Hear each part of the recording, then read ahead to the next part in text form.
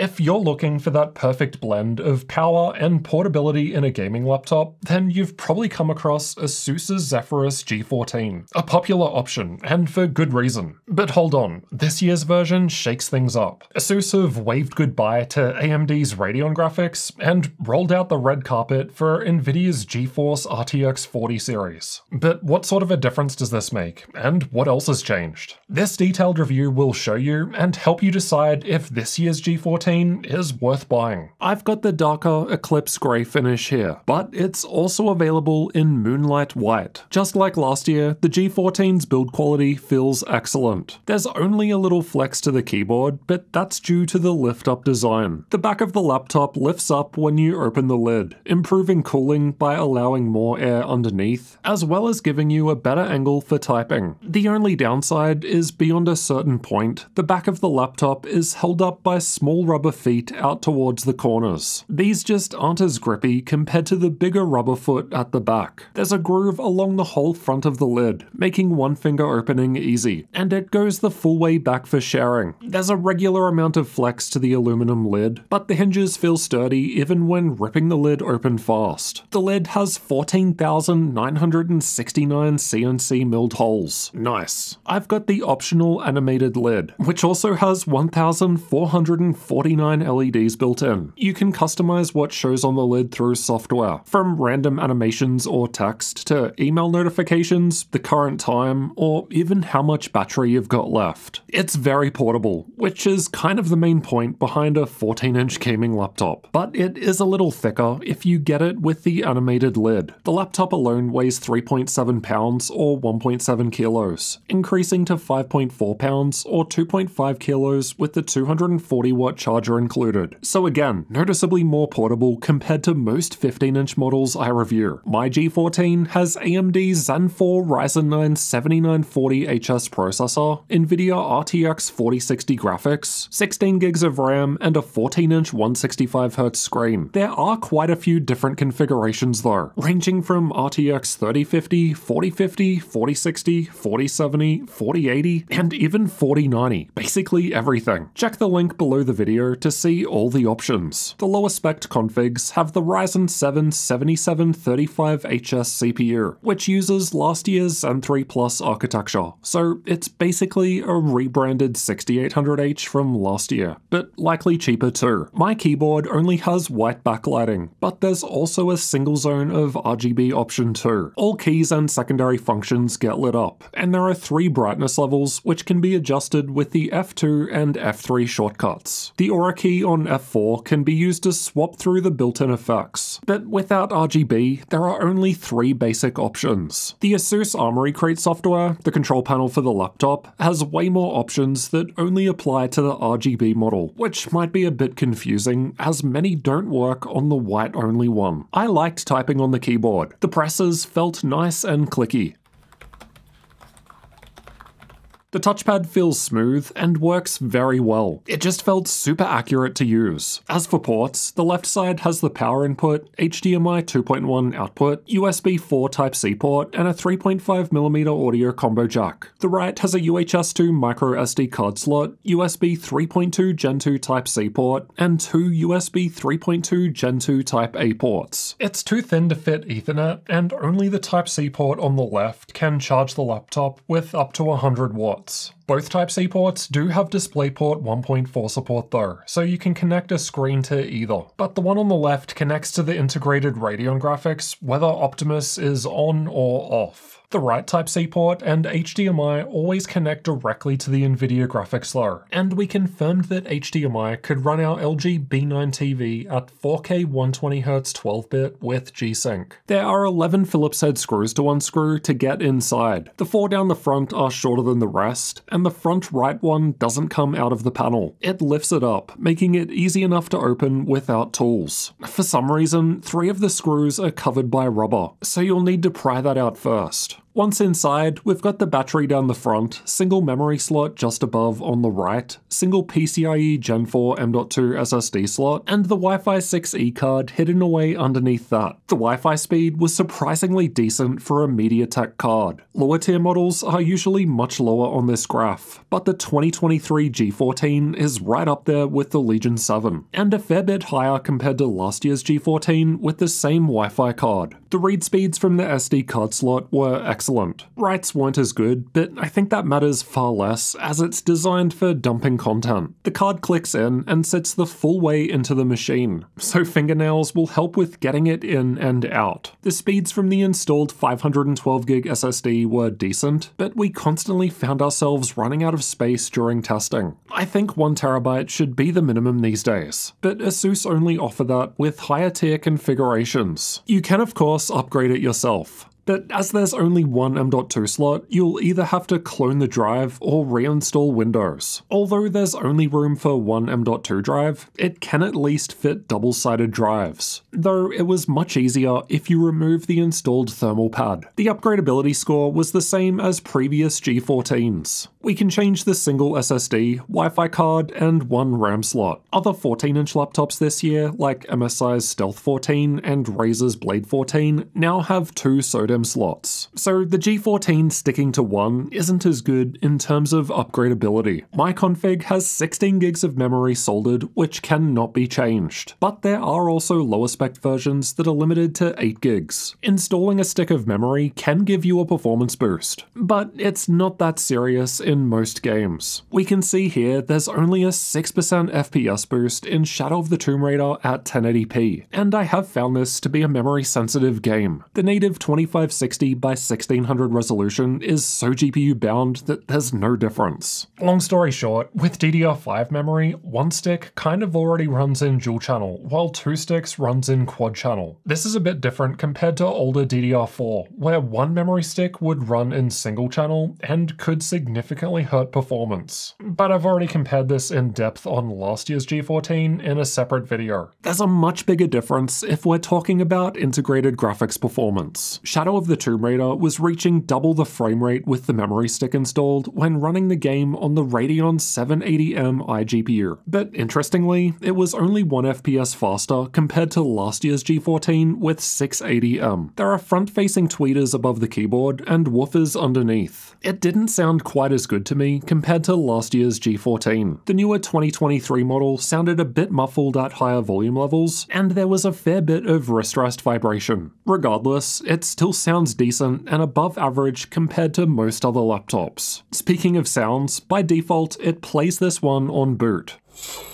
Fortunately, you can disable it through the software or BIOS. The LatencyMon results weren't amazing, but not as bad compared to other recent laptops tested. The G14 is powered by a 4-cell 76 watt hour battery. We can enable battery care mode through the MyASUS software, which is separate to Armoury Crate, and this limits the charge level to 80% to help improve the battery's lifespan. Panel Power Saver is enabled by default, which automatically lowers the screen's refresh rate to 60Hz when when you unplug the charger to save power. This is why the screen flashes black, and it goes back to 165Hz when you plug back in. I've tested running a game at 30 FPS on both the integrated and discrete graphics, and just like last year, it didn't last as long when using the iGPU. So although it's capable of lightweight gaming, I don't see the point. The battery lasted a little over 8.5 hours in the YouTube video playback test, a great result compared to most other laptops due to the AMD AMD Ryzen processor. However, the older G14s were able to run for longer. It's only a little ahead of last year's Razer Blade 14, but that had a smaller battery. I'll be reviewing the newer 2023 model very soon. Make sure you're subscribed. Let's check out thermals next. It's got a vapor chamber cooler covering the CPU and GPU, and there's Thermal Grizzly liquid metal on the CPU, but not the GPU, that has paste. Last year's model had liquid metal on both, but it also had AMD graphics. Perhaps an NVIDIA GPU has less to gain. There are holes directly above the air intake fans with some dust filters. Air gets exhausted out of the left and right sides and out the back, though due to the lift-up design, this results in hot air blowing against the screen, in spite of the angled vents we see here. I doubt that's a problem though, as they've had this design since 2020, and I haven't heard of widespread problems. ASUS's Armoury Crate software allows us to change between different performance modes, which from lowest to highest are silent, performance, turbo, and manual. Both turbo and manual modes apply this overclock to the GPU, but only manual mode lets you customize it. You can change the fan curve of both fans separately, change the CPU power limit, set a lower thermal throttle limit for the GPU, or reduce the dynamic boost power limit range. Whenever we've tested manual mode, all sliders were maxed out with fans on 100% speed. The internal temperatures were a little warm at idle, but it's not a problem. The rest of the results are from combined CPU and GPU stress tests, which aim to represent a worst case full load scenario. Manual and turbo modes were about the same, and closing the lid resulted in the laptop running a fair bit warmer. You'll see why soon. The cooling pad I test with, linked below the video, was able to lower temps quite a bit. These are the clock speeds in the same tests. CPU clock speeds were highest with the lid closed for some reason, which is why the temperatures rose so much. The GPU clock speed suffers because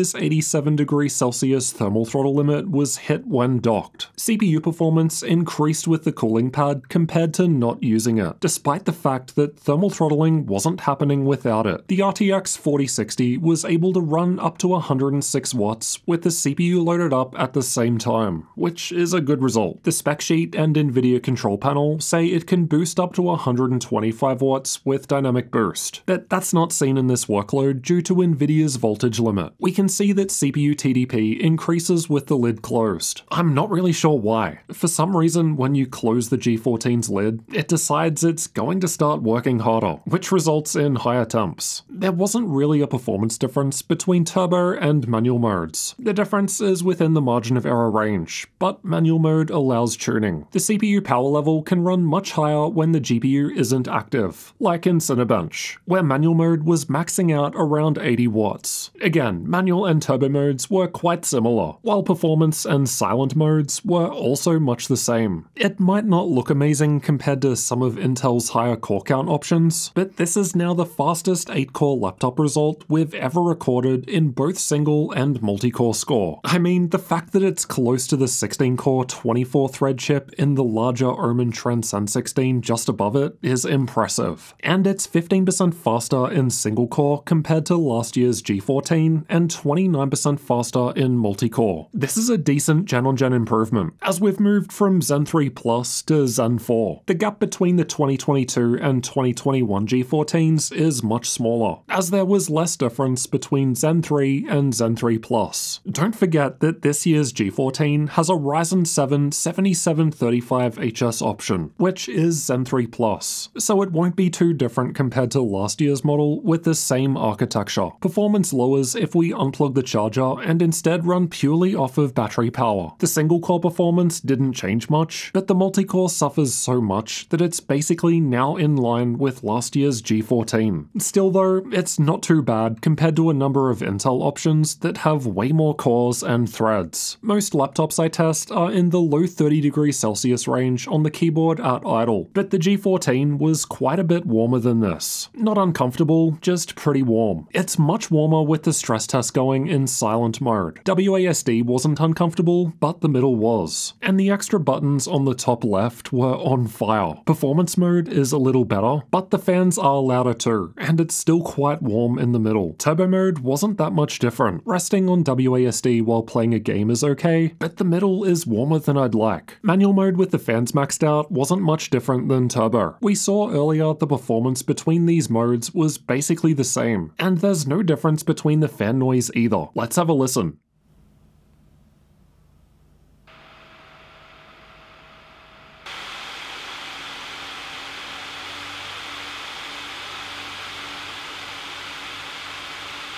I couldn't hear the fans at all when just idling in silent mode, but they turned on and were quiet once I started using it. There wasn't much difference between performance, turbo, and manual mode, with the fans maxed out though, but it wasn't quite as loud compared to most other laptops, which are often closer to 55 decibels. It's still got a 14 inch 16 by 10 screen, just like last year, which I really like because when you're sitting in front of it, it kind of looks like you're just looking at screen only. There's also a new 600 nit 165Hz mini LED screen option this year. Unfortunately, we don't have that, but ours still has a 500 nit 165Hz screen that looks good with excellent colors. The brightness didn't quite get to the advertised 500 nits at 100%, but this can vary a bit depending on the panel lottery. Backlight bleed was fine here, I never noticed the minor patches during normal use, but again, this will vary between laptops. Overdrive is enabled in Armoury Crate by default, which gives a faster response time. We're looking at an average grey-to-grey response time of 4.35 milliseconds with it on, and all transitions were below the 6.06 milliseconds needed to occur within the 165Hz refresh window. There was some overshoot and undershoot. This can be removed by turning overdrive off, but the response time increases to almost 7 milliseconds. It's a good result compared to other laptops, and a little faster compared to last year's G14 with a 120Hz screen, both of which are quite a bit faster compared to the even older 2021 model. The total system latency is the amount of time between a mouse click and when a gunshot fire appears on the screen in CSGO. Again, it's just a little faster compared to last year's G14, but a fair bit better compared to the 2021 model. There's a 1080p camera above the screen, up from last year's 720p, and it has IR for Windows Hello Face Unlock. Here's how the camera and microphones look and sound, and this is what it sounds like while typing on the keyboard.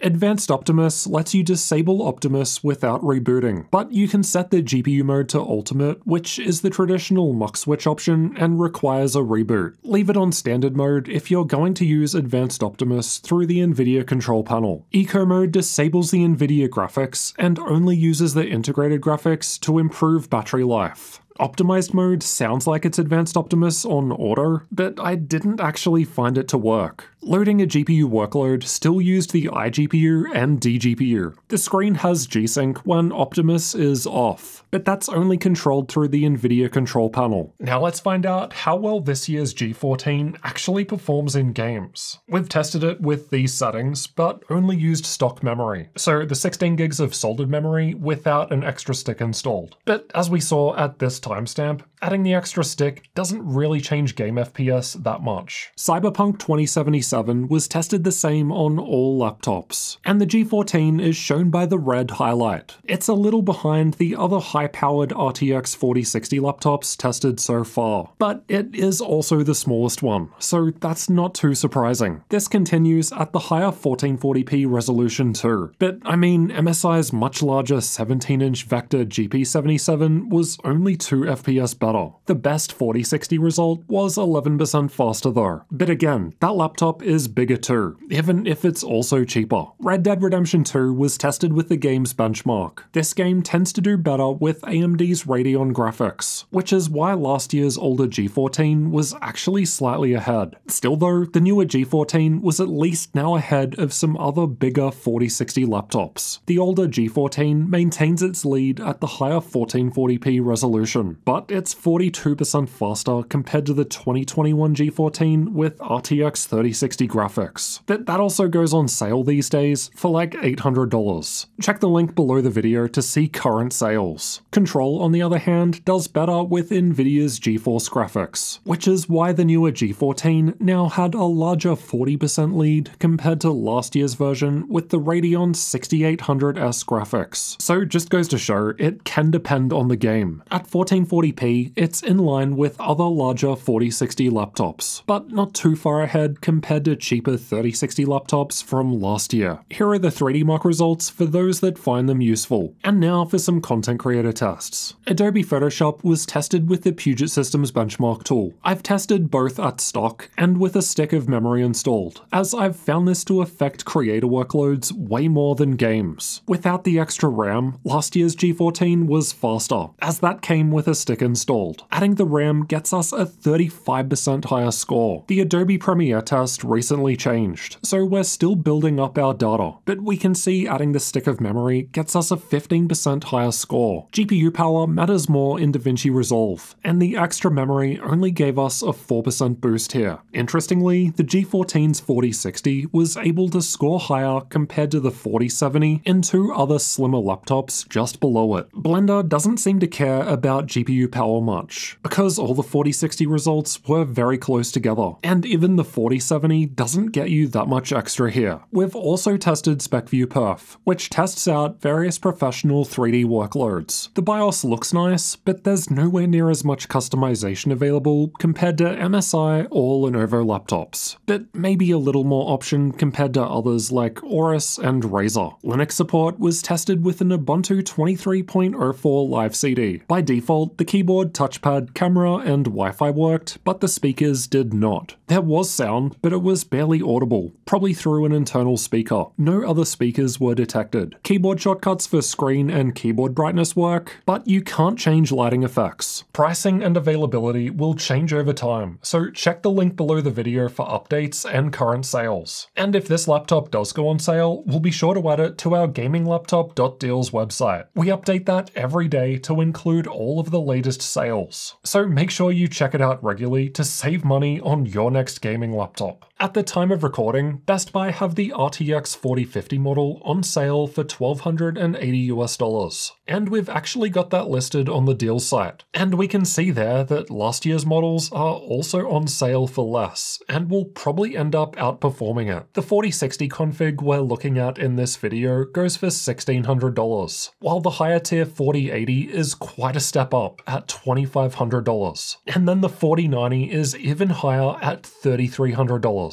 They don't seem to have the 4070 at the moment. All things considered, I think that the Asus Zephyrus G14 is a great portable gaming laptop. The price is definitely on the higher side compared to other laptops with similar specs, but that's always going to be the case with higher performing 14 inch models. You just have to pay more to get good performance in a smaller size. It's how tech works. The main thing that I didn't like was just how hot the keyboard could get in the middle when running a heavy workload. It's like 10 degrees Celsius warmer compared to last year's model. But last year's model also had liquid metal on the CPU and GPU, while this year only has it on the CPU. So maybe that's a factor. Oh, and the fans on last year's model actually get slightly louder than this one too. This year's version also has the mini LED screen option, as well as faster CPU and GPUs. But apart from that extra performance, which is always welcome, there aren't a whole lot of big changes with this year's G14. Don't fix what's not broken, I get it. But considering that other 14-inch gaming laptops this year, like MSI's Stealth 14 and Razer's Blade 14, have both evolved to having two memory slots, it would have been nice to see the G14 make that move too, as more upgradability is always better. This is the first 14-inch gaming laptop that we've reviewed in 2023 so far, so it's a little difficult to compare it to those other models right now. But we did just get both the Blade 14 and Stealth 14 in for testing, so make sure you're subscribed for those reviews.